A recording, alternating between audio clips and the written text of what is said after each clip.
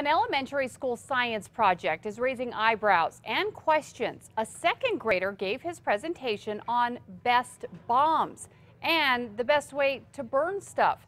News 13's Cole Miller is live at Corrales Elementary with what parents and the school have to say about it. Cole? Well, good afternoon, Kim. The school here held their science fair last night, and one exhibit stuck out compared to the others. The district says that project, put together by a second grader, was misinterpreted. Honestly, I don't believe that that assignment should have been allowed. I don't think it was meant to hurt anything. Yeah. Parents here at Corrales Elementary School are split over what they saw at last night's science fair.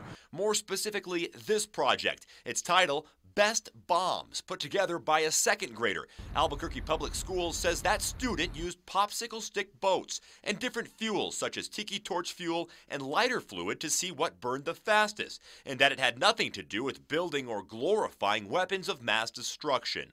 It's kind of odd that they would do it, but like I say, after we were talking about it, it's uh, probably just a bad title for his project. I believe in, you know, students and children being able to um, explore different scientific options um, for a science fair project, but I think that one was a little bit extreme and that could cause future concern. In a statement, APS says that students are, quote, encouraged to come up with catchy titles for their projects, and that's what happened in this case. According to the project's procedure, the goal was to see how long the boat would burn before sinking. I believe the school is very well uh, rounded here in Corrales, and um, and I think as much as the parents are involved in the school, that that's not a real concern of mine at this point.